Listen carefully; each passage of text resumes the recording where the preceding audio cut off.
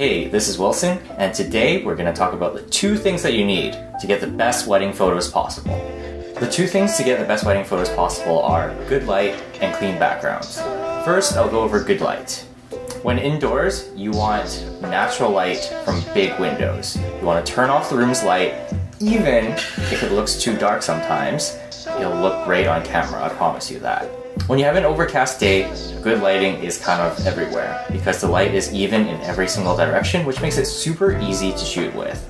Now, if you don't have an overcast day, things can get a little trickier, though most photographers should be able to figure this out pretty easily. If it's sunny and you're getting photos done outside, you want to be looking for shade. Going in the shade essentially eliminates all cast shadows because you are going into the shadow itself.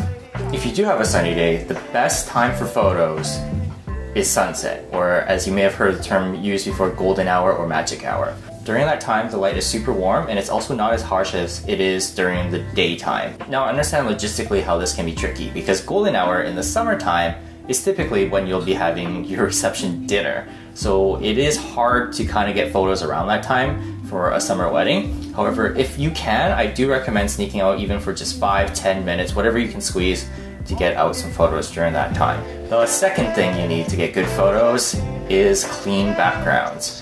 Just an environment where you don't have anything distracting going on. So in terms of getting ready photos, a clean room.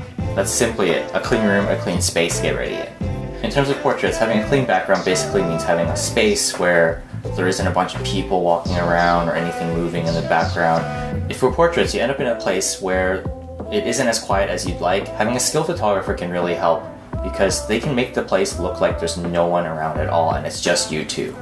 So there you have it. The two things you need for good photos. Good light and a clean space. That's it.